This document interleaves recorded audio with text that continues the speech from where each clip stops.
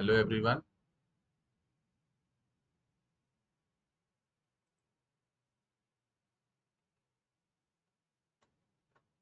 जल्दी जल्दी जुड़ जाइए आज की क्लास शुरू की जा सके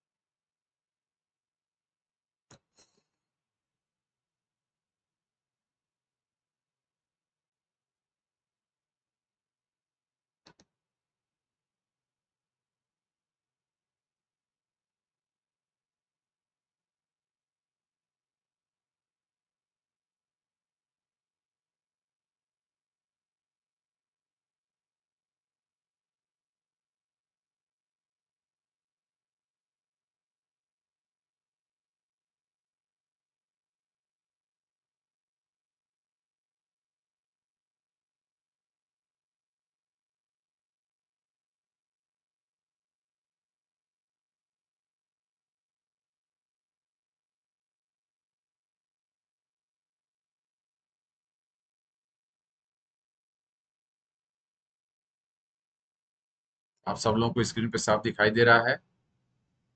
मेरी आवाज़ सबको साफ़ सुनाई दे रही है। कमेंट बॉक्स में आके जल्दी से लिखिए।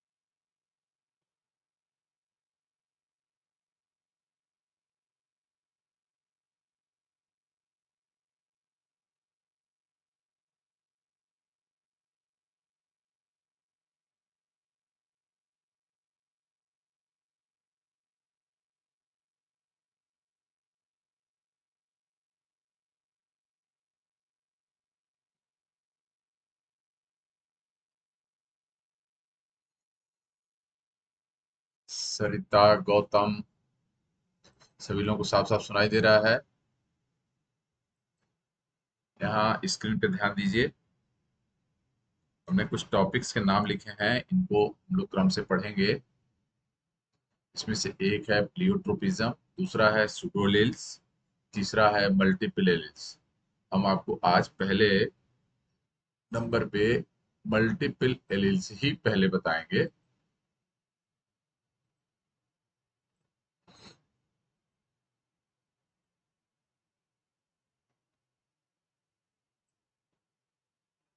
ठीक।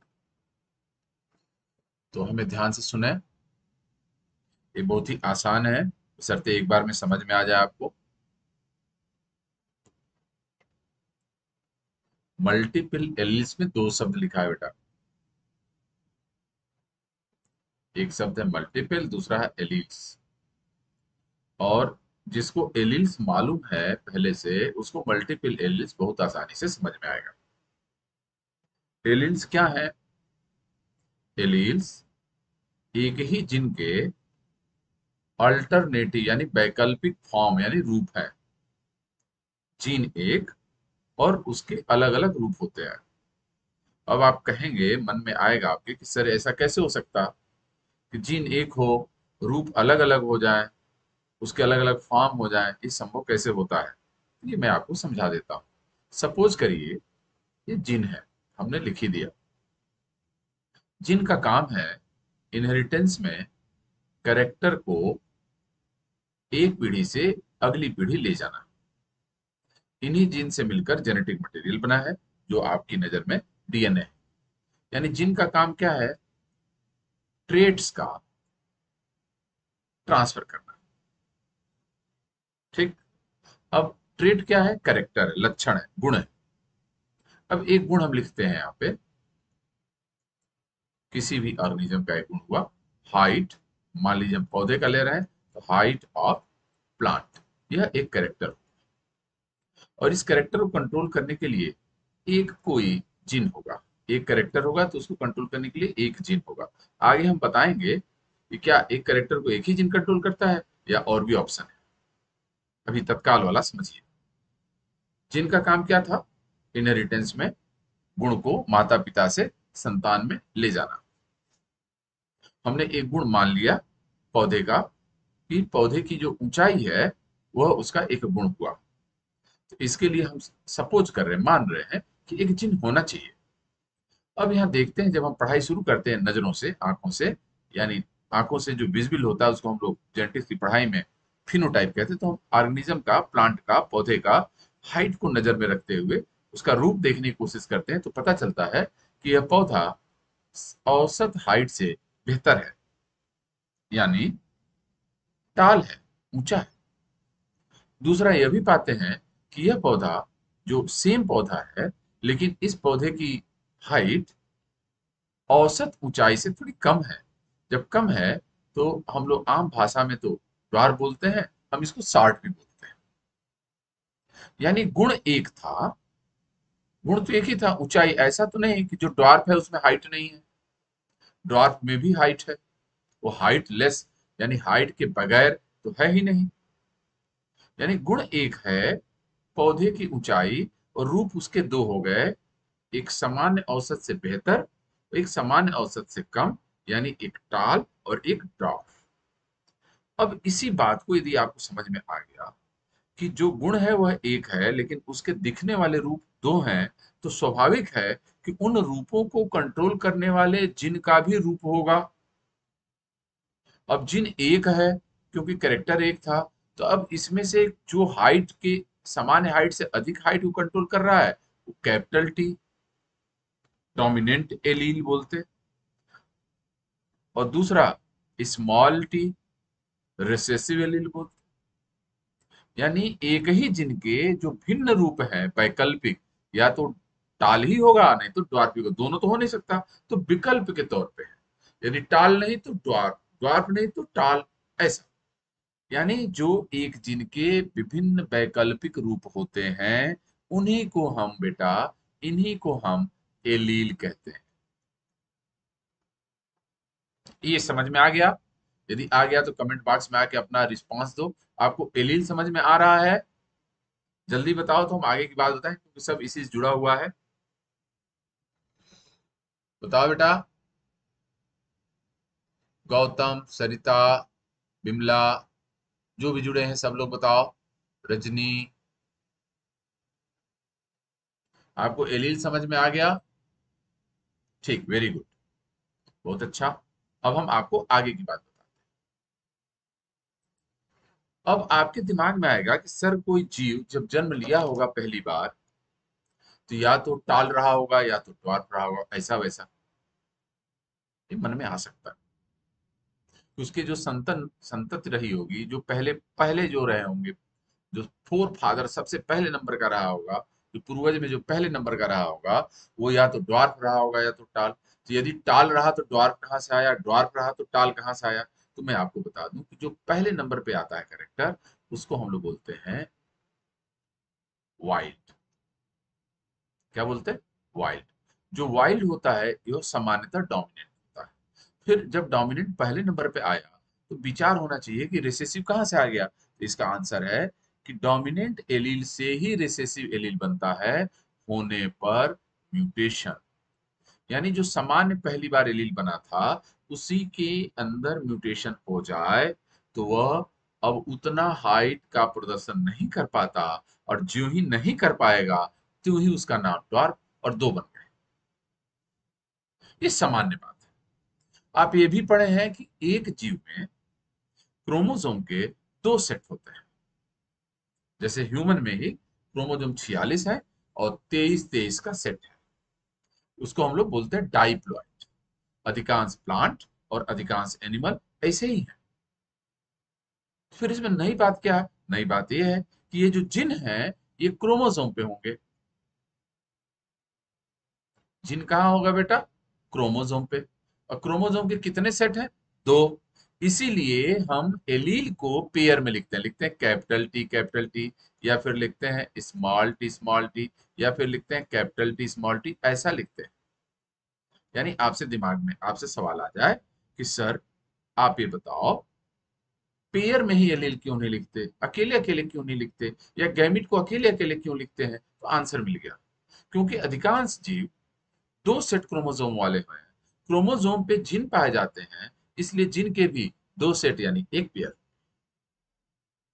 जब गैमिट बनता है तो मियोसिस होती है और मियोसिस में क्रोमोजोम नंबर घटकर आधा हो जाता है। इसीलिए गैमिट के अंदर एलील की संख्या एक हो जाती है। या तो कैपिटल टी होगा, नहीं तो स्मॉल टी होगा।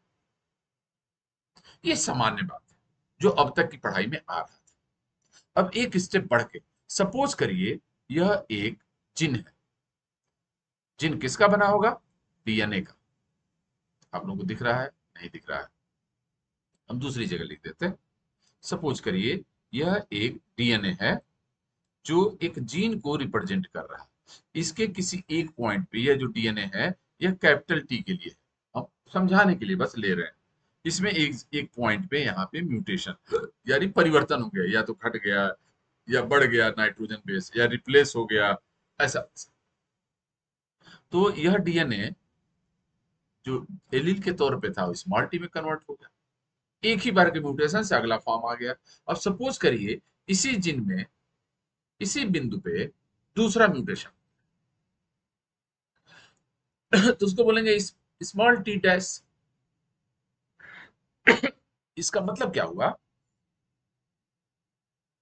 कि जीन एक वैकल्पिक रूप एलील के दो से अधिक, सामान्यतः दो, लेकिन हो गए दो से अधिक। जो ही दो से अधिक एलील हो जाए तो इस सिचुएशन को मल्टीपल एलील्स मल्टीपल एलील सामान्य एलील से ही बनता है म्यूटेशन होने पर। जब एक से अधिक बार सॉरी एक से अधिक बार किसी जिन में उसी बिंदु पर म्यूटेशन हो जाए तो एक से अधिक वैकल्पिक रूप बन जाते हैं। और उन्हीं वैकल्पिक रूपों को जो संख्या में दो से अधिक हो जाए समानता दो थे, दो से अधिक हो जाए तो उस कंडीशन का नाम मल्टीपल एलील है और इनका माता पिता से संतान में ट्रांसफ़र पढ़ना, यानी इनहेरिटेंस की पढ़ाई करना, मल्टीपल एलिज्म आप लोगों को मल्टीपल एलिज्म समझ में आ गया हो तो कमेंट बॉक्स में आके हाँ लिखिए। बहुत साधारण है।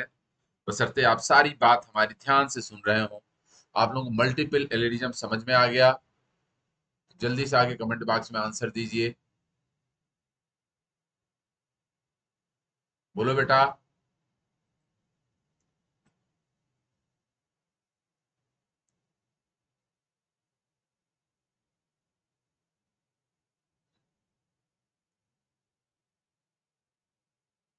बोलिए।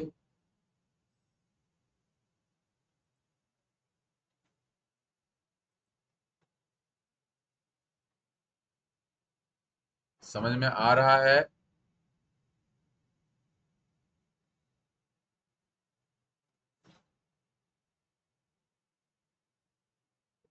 ठीक। जहाँ नहीं समझ में आएगा, वहाँ बता भी सकते हैं। संकोच करने की कोई ज़रूरत नहीं है। ठीक है? अब हम आपको जो स्क्रीन पे नोट्स के रूप में लिखा हुआ ओरिजिनल बात आपको बता चुके हैं। एक और बात हम इसको और एक्सप्लेन करें। इसके पहले एक और बात बताना चाहेंगे। इसको भी बहुत ध्यान से सुनिएगा, क्योंकि यह सामान्य बात से अलग है। सामान्यतः वन जीन इनहेरिटेंस में एक करेक्टर के ट्रांसफ़र को कंट्रोल करता है। बोल रहा हूँ, ध्यान से सुनो। सामान्यतः एक जिन इनहेरिटेंस में, अनुवांशिकता में एक गुण को ट्रांसफ़र कराने की ज़िम्मेदारी निभाता है। इसको हम बोलते हैं वन जीन वन करेक्टर यह जो one gene one character hypothesis है, यह मेंडलिज्म पे लागू होती है। ध्यान रखना है।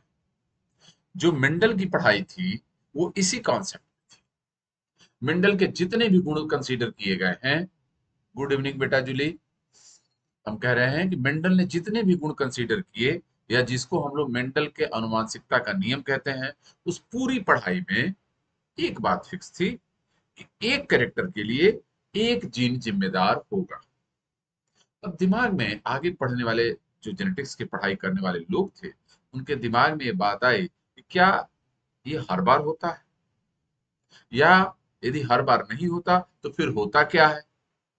अब हम आपको आगे की बात ये मेंडल तक यही बात थी। मेंडल इसके आगे नहीं जाता। आगे पढ़ाई करने पे पता चला कि हम जितनी संभावनाएँ दिमाग में ला सकते हैं, उतनी संभावनाएँ जीवन में पाई जाती हैं।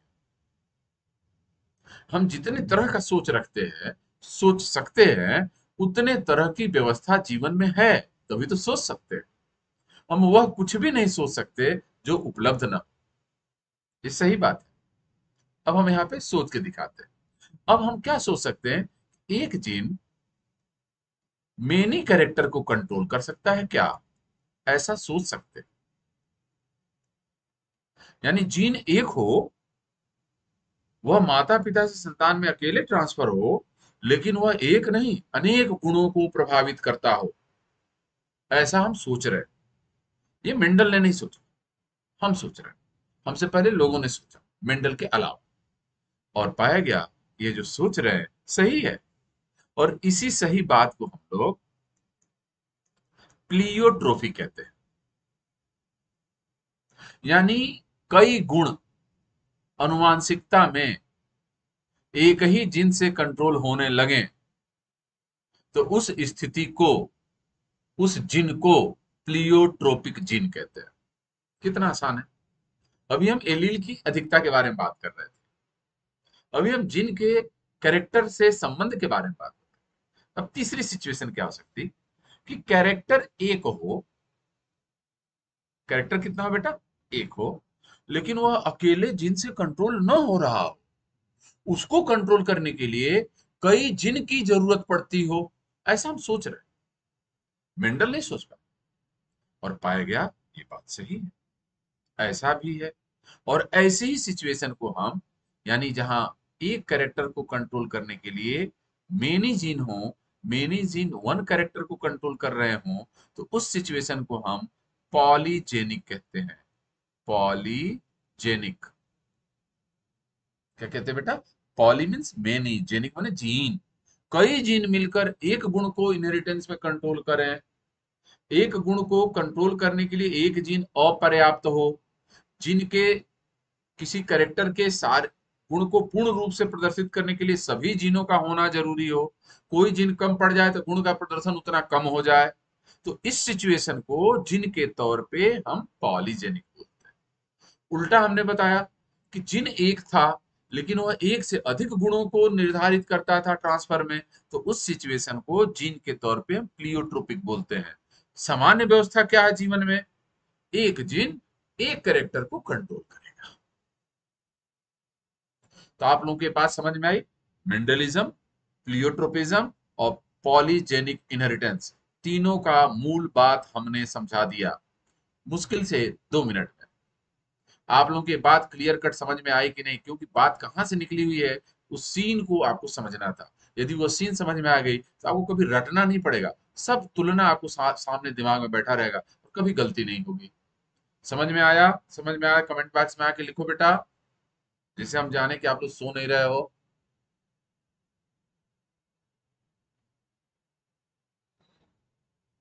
समझ में आया? तो आओ कमेंट बॉक्स में लिखो अपना आंसर कि हाँ समझ में आया।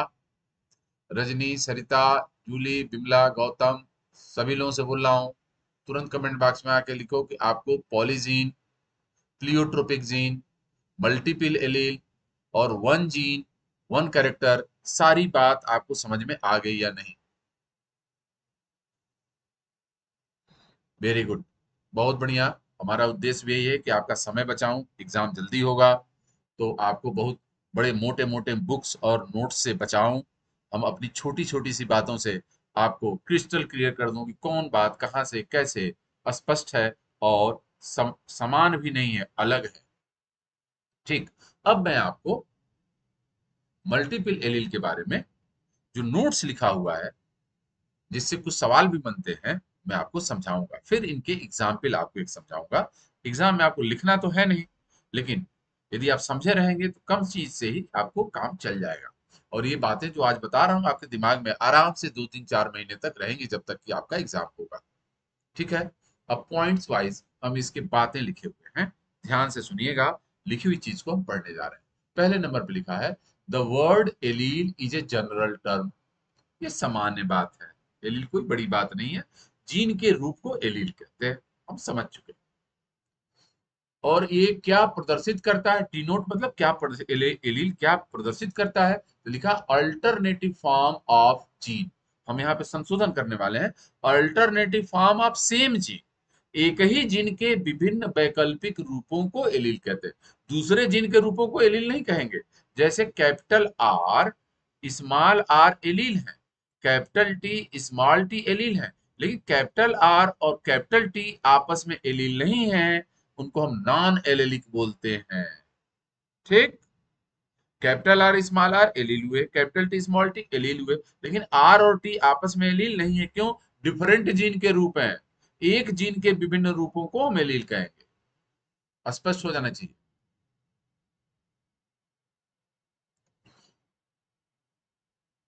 आगे लिखा है that denotes alternative form of a gene called allele हाँ ए जीन यहाँ लिखा है, एक जीन के। ये सही सेंटेंस दूसरा पॉइंट है जीन म्यूटेशन में produce many different alleles of a gene एक ही जीन में म्यूटेशन होने पे कई एलील बन सकते हैं। तीसरी बात क्या लिखी है? All such alternative altered alternative form of gene whose number is more than two जब एलील की संख्या एक जीन के लिए दो से अधिक हो जाए तो उस व्यवस्था का नाम मल्टीपल एलील है। बहुत क्लियर हो गया? वह सिचुएशन जिसमें एक जीन के एलील दो से अधिक हो जाए, तीन, चार, पाँच, दो से अधिक कितना? मिनिमम तीन, चार, पाँच छह जितना? ये बात। Any two of these can be present in genome of diploid organism ये बहुत राज की बात है। अब सपोज़ करिए किसी जीन का चार एलील हमारे पास क्रोमोजोम के दो ही सेट है। क्रोमोजोम पे ही जीन को पाया जाना है तो जीन जहाँ पाया जाएगा वहीं उसका रूप होगा। यानी भले एलील चार है, लेकिन हमारे शरीर में तो हर बार कितना होगा? दो। इसका मतलब क्या? इसका मतलब ये हुआ वो ध्यान से सुनो जो बोल रहे हैं। मल्टीपल एलील जनसंख्या में तो हो सकते हैं। कुल ऑर्गेनिज्म जितना होंगे किसी स्पीसीज के, उनको उनकी जनसंख्या कहते हैं। तो मल्टीपल एलील जनसंख्या में पाए जाते हैं, लेकिन एक इंडिविजुअल में तो मात्र दो ही होंगे। ये बात दम बैठ जानी चाहिए दिमाग क्यों दो होंगे? क्योंकि हर जीव में क्रोमोसोम के दो सेट हैं। लेकिन जिनका यदि दो से अधिक सेट है, तब उसका नाम मल्टीपल एलील है, और मल्टीपल एलील का प्रदर्शन आप खोजना चाहेंगे कि इनके में दो से अधिक एलील है तो आंसर आएगा नहीं है। तो फिर है कहा भैया? पॉपुलेशन में है। यानी हमारे अंदर नहीं है, लेकिन सबका जब एलील जोड़ा जाता है तो दिख जाता है कि दो से तो अधिक था। ऐसा। ये बात दिमाग में बिल्कुल बैठनी चाहिए। समान एलील में ऐसा नहीं होता। समान एलील में दोनों एलील एक जीव में पाए जाते हैं। लेकिन दो से अधिक की व्यवस्था शरीर में है ही नहीं, क्योंकि दो सेट से अधिक क्रोमोजोम की व्यवस्था ही नहीं है। वो तब न होगा जब ट्राइप्लॉइड हो, तीन सेट हो टेट्राप्लॉइड हो, चार सेट हो। तो सामान्य जीव तो डाइप्लॉइड होता है, चाहे प्लांट हो, चाहे एनिमल हो। अगला point haploid or a gamete can have just one of them haploid हमने सिखाया म्यूसिस हो जाएगी तो होगा, और उसमें सदैव कितने होंगे? एक। Multiple alleles always occupy same locus on the chromosome पूछा जाता है कि मल्टीपल एलील कहाँ होते हैं? उसी जगह पे होते हैं जहाँ उसका दूसरा वाला होता है। सेम लोकस लोकस माने point multiples alleles always influence same character वो सदैव उसी गुण को ही भाई, उसी जिन का रूप है तो जिस जिन को कैरेक्टर कंट्रोल का जिस कैरेक्टर को जिन कंट्रोल कर रहा था, वही कैरेक्टर इन्फ्लुएंस होगा, प्रभावित होगा।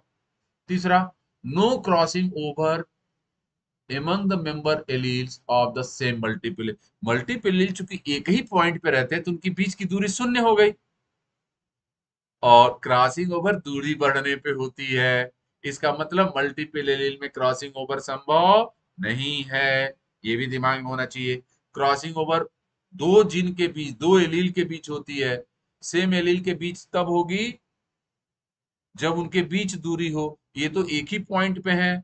जब एक ही पॉइंट पे है तो डिस्टेंस शून्य हो गया और शून्य डिस्टेंस पे क्रॉसिंग ओवर का चांस नहीं, यानी ये लिंक्ड ही रहेंगे हर समय। ठीक? अब आगे की बात। अब ये आपको एग्ज़ाम के दिन के लिए टिक लगाने के लिए पॉइंट्स है। क्या पॉइंट्स है? एग्ज़ाम में आएगा कि मल्टीपल एलिज्म का उदाहरण है। ऑप्शन में इन्हीं चार में पाँच में से दो दो, चार और पाँच हमने एग्ज़ाम्पल लिख रखे हैं। इन्हीं पाँच में से एक लिखा होगा, दो भी लिखा हो सकता है, तीन भी लिखा हो सकता है। तीन लिखा होगा तो आंसर हो जाएगा ऑल ऑफ़ द एक भी नहीं लिखा हो सकता है नन ऑफ़ दीज तो ये पाँच याद रखनी चाहिए। क्या है? विंग्स ऑफ़ ड्रोसोफिला ड्रोसोफिला के पंख। Coat colour of rabbit rabbit का जो रंग होता है, जो आप देखते हैं, आँख से वो सेल्फ इनकम्पैक्टिबिलिटी इन प्लांट्स खुद से खुद का सेक्सुअल रिप्रोडक्शन न कर पाना जो पौधे का गुण है, वो भी मल्टीपल एलील से होता है कंट्रोल ह्यूमन में, आप में मैन में ब्लड ग्रुप और rhesus blood group in man R H factor जिसको आप बोलते हैं, ये सब मल्टीपल एलिलिज्म के एग्ज़ाम्पल है। बात समझ रहे हैं पाँचों एग्ज़ाम्पल आपको याद रखने हैं। एग्ज़ाम्पल का डिस्क्रिप्शन बहुत नहीं आने वाला। और जो आने वाला है, वो हम आपको बता देंगे थोड़ा देर अभी एक और सीट आपके सामने आ गई है, खरगोश के स्कीन वाली। अब देखिए, बहुत साधारण जल्दी जल्दी में समझाने के लिए कम से कम शब्दों का उपयोग किया गया है, जिससे कि आप कम समय में बेहतर समझ सकें। लिखा है ऊपर एलील। ये एलील बेटा रैबिट का है। रैबिट के कोट कलर का एक कोट कलर ऑफ़ रैबिट से संबंधित है, जो कि एक प्रकार का मल्टीपल एलिलिज्म शो करता है। कितने एलिल दिखाए गए? चार। Capital C capital C C H sorry small C small C C H small C H और स्मॉल सी एक बार तो जो बना होगा, वो कैपिटल सी स्मॉल सी रहा होगा, दो बार हो गया तो सी एच और एच नए टाइप के लील आ गए स्मॉल सी पे। अब जब ये सी है तो इसका पेयर्ड फॉर्म होगा तो क्या होगा? कैपिटल सी कैपिटल सी सभी के पेयर्ड फॉर्म है डाइप्लॉइड में है। सामान्य जीनोटाइप ये हुआ। लेकिन एक में दो ही होगा ना? एलिल तो चार है, कोई दो होगा। अब जो कैपिटल सी कैपिटल सी है, ये वाइल्ड टाइप है, यानी ओरिजिनल है। और कौन सा रंग दिखाएगा? ब्राउन फर फर मतलब जो उसका रुआ होता है। जो capital C H capital C H है, इनको हम लोग बोलते हैं चिंचिला और इसका रंग होगा ब्लैक टिप वाइट फर जो टिप होगा, वो ब्लैक होगा, लेकिन उसके अंदर का रंग जो होगा, सफ़ेद होगा। ऊपर से देखने में काला, अंदर से उसका रंग जो होगा, सफ़ेद। जैसे कोई अपना बाल डाई कराए तो नीचे से सफ़ेद रहता है, ऊपर से काला हो जाता है, कुछ दिन बाद। तीसरा, Himalayan white fur with black paws और नोजियर्स जो उसके पंजे होंगे, पॉज में पंजे, और जो नाक होगी, वहाँ के जो बाल होंगे, देखिए आप इसके थुत्थन का दिख रहा है, ये ब्लैक होगा, इसका जो पंजा है वो ब्लैक होगा, और ये व्हाइट है। और चौथा, बिल्कुल सफ़ेद, जो आपको दिखता है, एल्बिनो, ये रिसेसिव करेक्टर हुआ तो ये चार करेक्टर हुए, कलर के लेके, चार एलील हुए, लेकिन एक खरगोश में सिर्फ़ दो दिखे।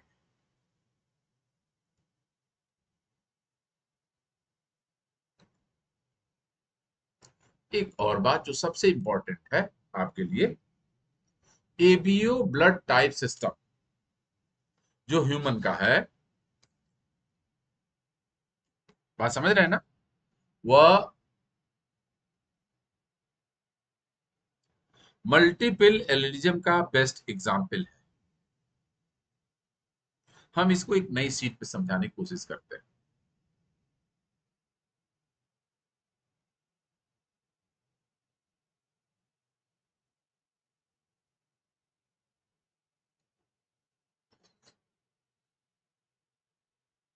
ह्यूमन में फोर ब्लड ग्रुप पाए जाते हैं, चार प्रकार के ब्लड ग्रुप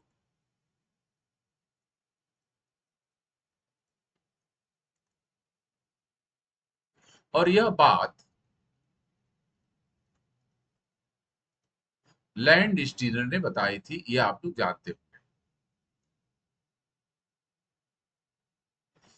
इस चारों में से नाम यदि हम लिखें तो एक है ए एक है बी एक है ए बी और एक है ओ कुछ लोग ओ बोलते हैं कुछ लोग ज़ीरो बोलते। हैं इसमें से जो ए बी ब्लड ग्रुप है, इसकी खोज लैंड स्टीनर ने नहीं की थी। इसकी खोज कैस्टेला, डी कैस्टेला नाम था, कैस्टेला एंड इनके एक साथी थे, स्टेनी ने किया था। A B blood group of human was discovered by de Castello and Steiny blood group in human was discovered by Landsteiner तो लैंड स्टीनर का बताया हुआ तीन हो गया, चौथा जो ए बी था, बाद में पता चला था। और इसको बताने वाले कैस्टेला और स्टेनी थे। एक और बात। अब हम इन ब्लड ग्रुप के चारों के गुण बताते हैं। यह है बेटा ब्लड ग्रुप।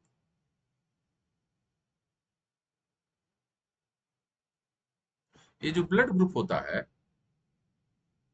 हम एक एग्ज़ाम्पल लेते हैं यहाँ पे, पहले नंबर वाला। ये ब्लड ग्रुप ए है। तो यह ब्लड ग्रुप ब्लड में उपलब्ध एक एंटीजन के आधार पर होता है।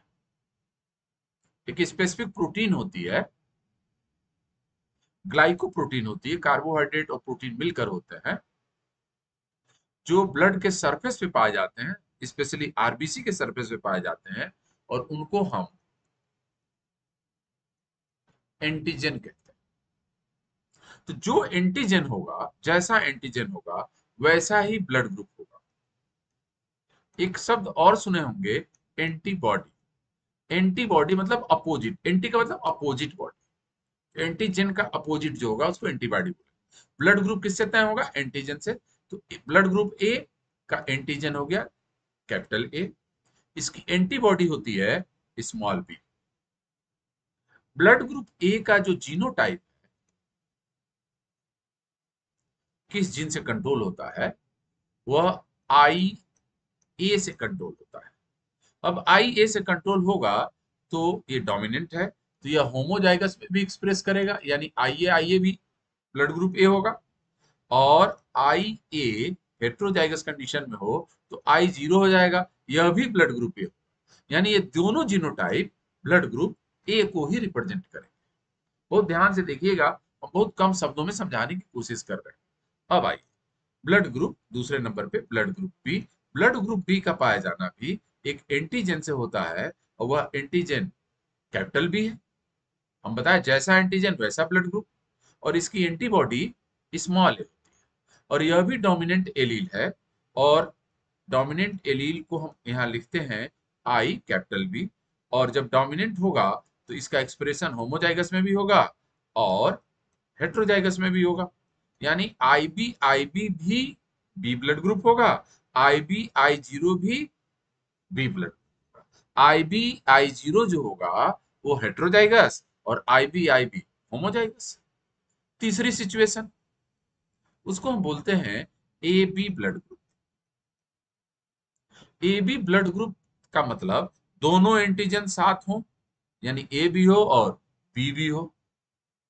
जैसा एंटीजन वैसा ब्लड ग्रुप इसका कोई एंटीबॉडी नहीं होता।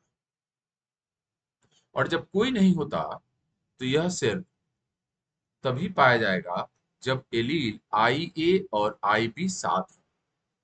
ध्यान रखिए, यह डोमिनेंट नहीं को डोमिनेंट है। आई ए से ए बन रहा है एंटीजन, आई बी से बी बन रहा है। तो आपके एग्ज़ाम में आएगा कि ह्यूमन में कौन सा ब्लड ग्रुप में को डोमिनेंस पाया जाता है।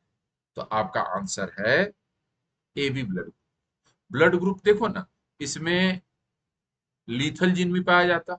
हम पढ़ाए हैं आपको सिकल सेल एनीमिया इसमें मल्टीपल एलिज्म भी पाई जाती। है पर देख रहे हैं, एक से अधिक एलील होने जा रहे हैं। आपके सामने हो गए आई ए एक एलील हुआ आई बी दूसरा एलील हुआ, और आई ज़ीरो तीसरा एलील हुआ। तीन एलील यानी दो से अधिक, दो से एलील हुए तो मल्टीपल लेकिन एक जीव में कोई दो ही एलील एक साथ दिखेंगे। अब चौथा ब्लड ग्रुप का नाम है बेटा ओ ब्लड ग्रुप या ज़ीरो ब्लड ग्रुप इसमें कोई भी एंटीजन नहीं होगा एबसेंट और एंटीबॉडी ए भी होगी और बी भी होगी। और यह कंट्रोल होता है रिसेसिव एलील से, उसको बोलते हैं आई ज़ीरो आई ज़ीरो इसको हम लोग स्मॉल से भी लिखते हैं I zero I zero recessive होने के नाते। तो आपके सामने क्या दिखा? कि कुल एक, दो, तीन, चार, पाँच छ छह प्रकार के जीनोटाइप दिख रहा है। फिनोटाइप चार प्रकार के दिख रहा है। एंटीजन तीन तरह का है। ए, बी और ए, बी। एंटीबॉडी भी तीन तरह की है और चार्ट आपके सामने है। अब इसमें से कुछ भी पूछ सकते हो। जीनोटाइप भी पूछ सकते फिनोटाइप भी पूछ सकते हैं, एंटीबॉडी भी पूछ सकते हैं एंटीजन भी पूछ सकते हैं, इसमें कोडोमिनेंस भी पूछ सकते हैं मल्टीपल एलेलिज्म भी पूछ सकते हैं। यहाँ एक बात और हम समझाएँगे।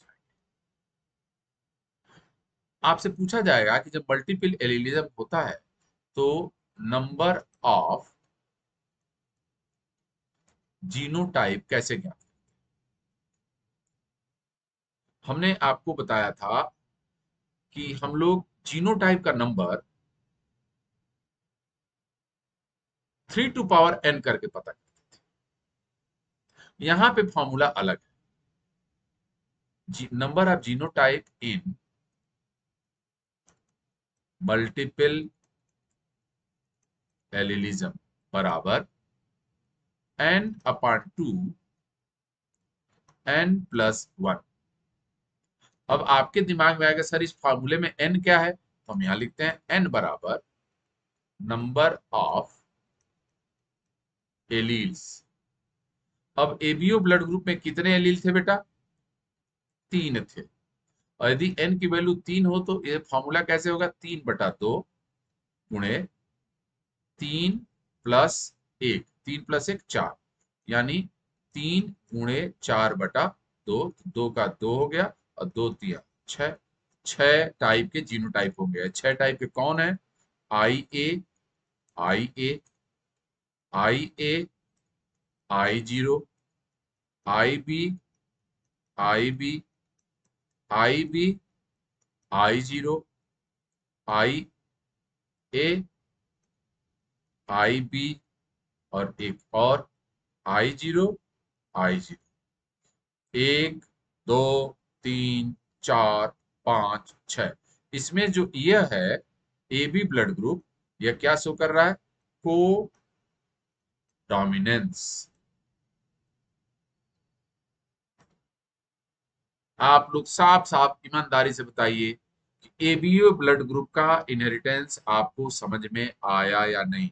इससे कम शब्द में, इससे साफ़ सुथरा हो नहीं सकता। फिर भी आप अपना रिस्पॉन्स करिए। आप लोग को समझ में आया या नहीं?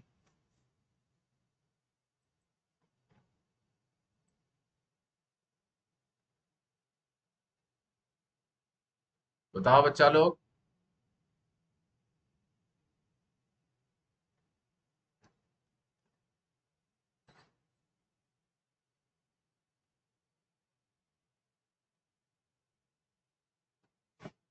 सभी लोगों से पूछ रहे हैं, सबको बताना है।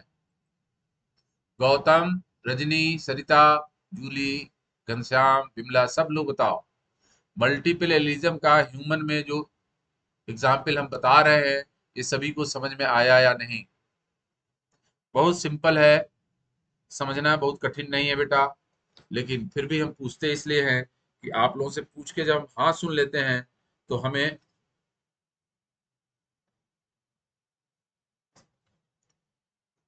संतोष होता है। और सब लोग सो गए क्या? कुछ ही लोग जगे हैं सिर्फ़ क्लास में? यहाँ देखिए हमने जो फॉर्मूला लिखा है बेटा यहाँ, ध्यान से देखो, ये हम मल्टीपल एलिज्म के लिए लिखा है। यदि सामान्य बात के लिए लिखना हो, सामान्य जीनोटाइप के लिए जो मेंडलिज्म में पढ़ रहे थे तो उसके लिए है नंबर ऑफ़ जीनोटाइप बराबर थ्री टू पावर एन और एन की वैल्यू यही है नंबर ऑफ़ एलील ये मेंडलिज्म में पढ़ रहे थे। और मल्टीपल एलिज्म में ये पढ़ रहे हैं। तो ये फार्मूले याद रहेंगे तो आपका काम चल पूछा जाएगा एग्ज़ाम में कि किसी जीन के दस एलील हैं तो कितने जीनोटाइप होंगे? ऐसा। एक और सवाल आएगा blood group human blood group से संबंधित कि कौन डोमिनेंट है और कौन रिसेसिव है तो हम यहाँ लिख देते हैं I A is dominant over I zero हम एरो लगा के लिख रहे हैं, जो बड़े की तरफ़ लिख रहे हैं, वो डोमिनेंट है, जो छोटे की तरफ़ लिख रहे हैं, ऐसा। ठीक है, ऐसे ही। I B is also dominant over I zero but तीसरा I A and I B both are dominant इसीलिए I A I I B जब एक साथ होते हैं तो दोनों का प्रेजेंस होता है तो दोनों एक्सप्रेशन करते हैं, और इस सिचुएशन को हम को डोमिनेंस कहते हैं। यानी ब्लड ग्रुप का इनहेरिटेंस को डोमिनेंस का भी एग्ज़ाम्पल है ब्लड ग्रुप का इनहेरिटेंस ह्यूमन में मल्टीपल का भी एग्ज़ाम्पल है। और इसी में सिकल सेल एनीमिया यानी लिथलिज्म भी पाई जाती है। लेकिन लिथलिज्म का इनहेरिटेंस नहीं हो सकता, वहीं डेथ हो जाएगी। उसकी अगली पीढ़ी नहीं आती। ये बात आप समझ गए हैं और अब मैं आपको नोट्स की चीज़ें समझा देता हूँ। ये देखिए, ये जो नोट्स में लिखा है, पहले से हम लिखवा के लाए हैं, जिससे कि आपका समय बचे। समझाने वाली बात सब हो गई आपको? ये भी समझ लेंगे। पढ़े जो बात आप अभी हमसे सुने हैं, उन्हीं को यहाँ पे अच्छे शब्दों में लिख दिया गया है। आप में से कुछ लोग शौकीन हैं, कापी किताब बुक लिखने वाले तो ये उन शौकीन लोगों के लिए है। ठीक है? आपके एग्ज़ाम की मुख्य पढ़ाई समझने की है। क्या है लिखा है यहाँ antigen antibody relationship is one of the great specificity like that between lock key. जैसे ताला चाबी होता है, ठीक वैसे ही एंटीजेन और एंटीबॉडी का संबंध बताया जाता है। Each antigen and its associated antibody has peculiar chemical configuration ये भी बात सही है। जो एंटीजन कोई भी है और जो कोई भी एंटीबॉडी है तो उनमें आपस में स्पेसिफिक यानी विशिष्ट रासायनिक संबंध या उनकी संरचना तीसरे नंबर पर क्या लिखा है? लैंड स्टेनर 1900 में बताया कि रेड ब्लड सेल्स पे रेड सेल्स पे के ऊपर placed in the serum of another person the cells become clumped एक सेल का आरबीसी दूसरे आदमी के आरबीसी पे डाला गया तो क्लम्प्ड हो गई, यानी वो जम गया। वो उसमें फ्यूजन हो गया। तीसरी बात if blood transfusion were made between person of two such इस तरह के व्यक्तियों में यदि ब्लड का ट्रांसफ़र करा दिया जाए तो यह ट्रांसफ्यूज सेल क्लम्प कर जाएगी और कैपिलरीज ब्लॉक हो जाएँगी और अंततः मृत्यु हो जाएगी। तो आप सुने होंगे कि ब्लड ग्रुप का जाँच करने के बाद ही हम लोग ब्लड का ट्रांसफ्यूजन यानी एक दूसरे के शरीर में ट्रांसफ़र कराया जाता है। अब दूसरी बात क्या आई? कि I A allele codes for A molecule I A allele एक ए मॉलिक्यूल बनाता है रेड ब्लड सेल के लिए और I B allele B molecule बनाता है रेड ब्लड की सरफेस पे और आई स्मॉल आई एलील कोई मॉलिक्यूल नहीं बनाता। यानी आई ए ब्लड ग्रुप ए के लिए था I B blood group B के लिए था और I zero zero blood group के लिए है, सीधा। In case of I A and I B L are codominant और आई ए आई बी क्या है? एक साथ है तो को डोमिनेंट है। क्यों? ब्लड ग्रुप क्या हो जाएगा? ए बी दोनों का प्रदर्शन ए से ए का बी से बी का होने लगा। और जब हेट्रो जाएगा इस कंडीशन में एलील अपने को एक्सप्रेस करे तो डोमिनेंट दोनों करें तो codominant although there are three alleles allele देखिए गिनती में एक दो तीन हो गए तो मल्टीपल एलील हो गया। लेकिन ये तीन एलील कहाँ हो गए? पॉपुलेशन में कोई ज़ीरो ब्लड ग्रुप वाला है, कोई बी वाला है, कोई ए वाला है, कोई ए बी वाला है, उन्हीं में तो ये एलील है। तो एलील तीनों पॉपुलेशन में है, लेकिन जीव में, एक इंसान में तो सिर्फ़ दो ही एलील पाए जाएँगे। ये भी मैंने आपको बात पहले समझा रखी है, वही लिखा हुआ है। This produce genotype and phenotype shown in the figure phenotype कितने हैं बेटा? चार। और जीनोटाइप कितने हैं? छह। अब फिगर कहाँ है? आगे दिखा देते ये आपको फिगर था। ये चार genotype A B A B A B और ज़ीरो फिनोटाइप छह। इसके अलावा भी आपको फिगर में दिखाया जा सकता है इस बात को, लेकिन यही बात उस फिगर में भी है। ये देखिए फिगर है इनहेरिटेंस ऑफ़ ये आई ए एलील है, ये आई बी एलील है और ये स्मॉल आई है। ठीक, ये जैसे मान लेते हैं मेल पेरेंट है तो ये फीमेल पेरेंट है। अब इनके पास कितने से किसका किससे क्रॉस कराएँ तो क्या चांस होगा इस चार्ट से पता चलेगा। यदि आईए वाले का आईए का हो तो सारे संतान ए ब्लड ग्रुप वाले, यहाँ कैपिटल ए लिखा हुआ है बड़ा बड़ा आईए आईबी का हो जाए तो ए बी ब्लड ग्रुप वाले संतान होंगे। आईए आई ज़ीरो के बीच शादी करा दी जाए तो ब्लड ग्रुप ए ही वाले होंगे, कोई ज़ीरो ब्लड ग्रुप वाला नहीं होगा।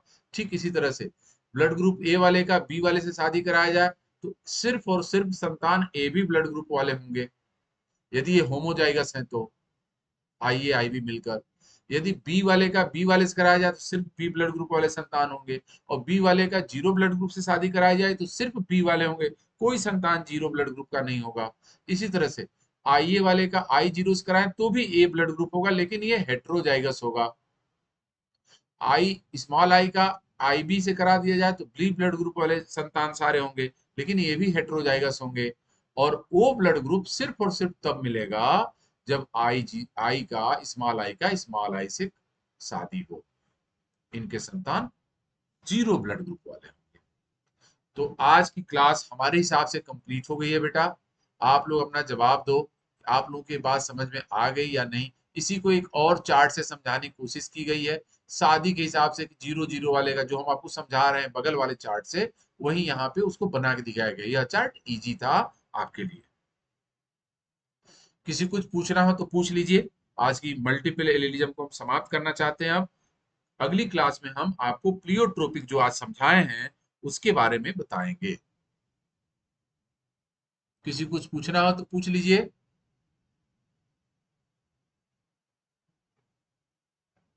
किसी कोई सवाल हो, कोई दिमाग में पूरा फात चल रही हो, पूछ सकते हैं, क्योंकि हम इस क्लास को समाप्त करने वाले हैं।